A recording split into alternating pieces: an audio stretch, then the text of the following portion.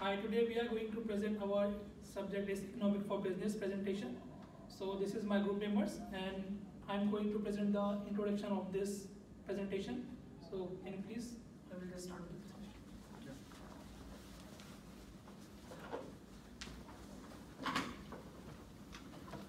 Alright, so our topic is uh, mining in Australia. So I'm going to let present the introduction of this uh, presentation. So as you see, the Australia has been blessed with the natural resources and geographic location being rich in uh, minerals such as iron, metallurgical coal and lead and gold. They have seen a gold rush of 1850. Have you seen the type of the minerals, iron, metallurgical coal and natural gases? So the mining industry has been uh, has seen over 400 billions invested in, in it. Each curious curious required highs. So gold mining was the most exported item in Australia, but now the its iron, ore, and coal lead the way. So for these are the like uh, main natural resources of Australia, and uh, for the other next part is to present my friend is Komal. Well, hello everyone. Kaumil Patel. I'm going to tell you about market structure of export of three different uh, natural resources. Uh, so here is a natural gas, coal and iron and these are the percentage of this. So here natural gas is, uh, natural gas is the highest percentage export uh, in Australia and uh, coal is the lowest percentage of export in Australia. So uh, these are the two, two market structure part, metallurgical coal and natural gas. First is the surface mining and shaft mining. So market structure in the mining industry is determined by the minerals that are mined. Australian mine iron ore and coal and are the world's top exporter in the iron. So, and the next one is the Australian fourth largest producer. Australia comes fourth uh, in the rank of coal producing country, while the biggest importer of uh, coal are China, India, Japan among others. And while the biggest coal exporter are Indonesia on the first rank and Australia is the second rank. So uh, the next is uh, uh, the price of coal are mainly uh, driven by emerging economy that need for energy as they are transiting from uh, to industrial result in a high level of coal demand. So the next is uh, BHP Billiton. Major companies in Australia are BHP Billiton and uh, Whitehaven Coal and 21 million tons and 15 million tons. And the other is uh, the natural gas. So the third com commodity natural gas put Australia as the third largest producer after China. And natural gas fuel homes, industries and is critical to electricity production. So LNG is a transported without Philippines, uh, thus oil prices or other transportation costs affect the price as well. Gazprom, uh, ExxonMobil, China, National Petroleum, Royal Dutch are the example of natural gas. Uh, I'll hand over the next slides to Sonal. Thanks, Komal. I'm Sonal Kapadiya here. I am going to talk about issue in mining. The first is growing economy. While mining and its subsequent activities has always helped in inject much needed revenues into the economy, there are some apprehensions related to the dosage. The economy grew in Australia mining states earned more, more spent more, increased the uh, consumeration and overall price rose. The second one is better terms of trade. Trade export, uh, exported industries suffer due to real apprehensions of the currency which is affected by domestic inflation due to high consum consumeration or nominal, nominal exchange rate apprehensions due to high exports. Third one is Dutch, Dutch disease effect. Income across the country grew when labor switched to mining.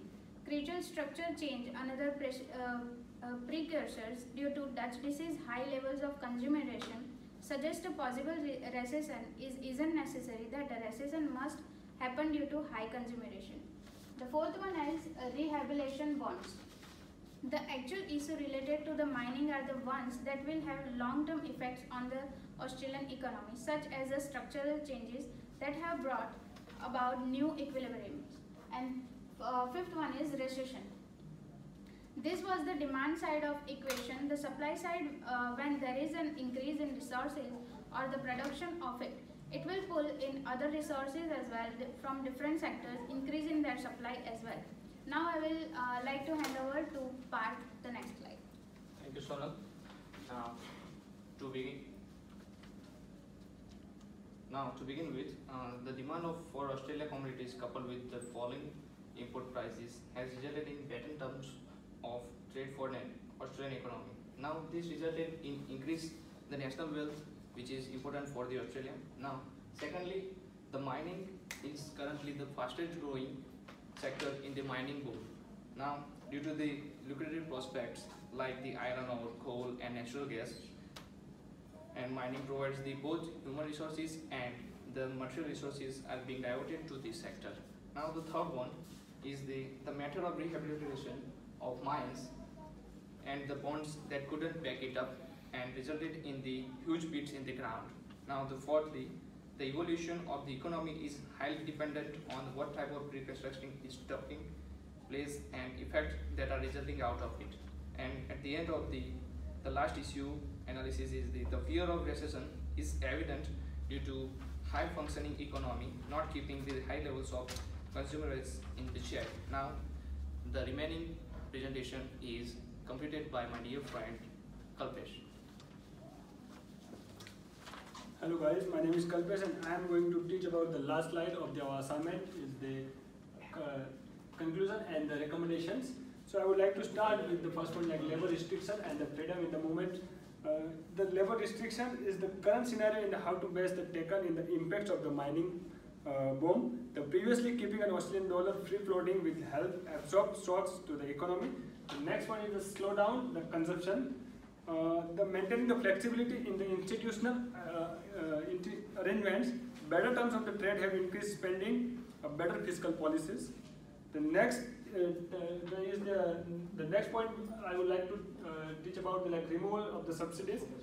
In that part, the removing the subsidies, for the example, will allow the local industry to fight for its place against the international brands. The next is the efficiency taxation.